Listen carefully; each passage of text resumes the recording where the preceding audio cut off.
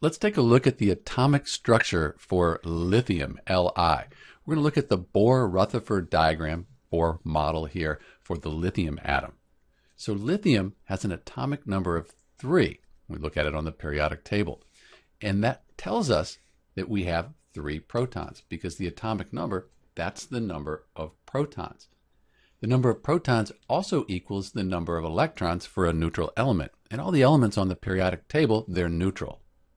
So in our Bohr diagram here, we have our nucleus that has three protons in it. And then we have one, two, three electrons around the nucleus. And they're in energy levels. We have one, two energy levels for the lithium atom.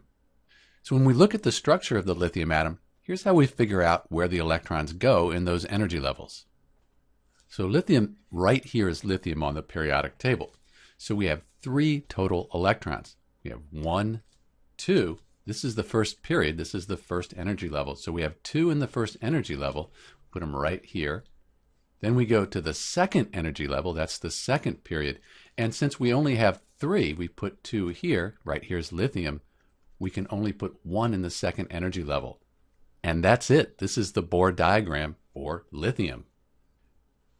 You'll note that this electron right here in the outer shell, that's called a valence electron. This is the electron that's going to form chemical bonds with other atoms. So it's important for us to be able to figure out how many electrons we have in that outer shell, those valence electrons.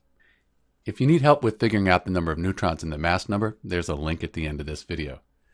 This is Dr. B with the Bohr diagram, also called the Bohr model, for lithium. Thanks for watching.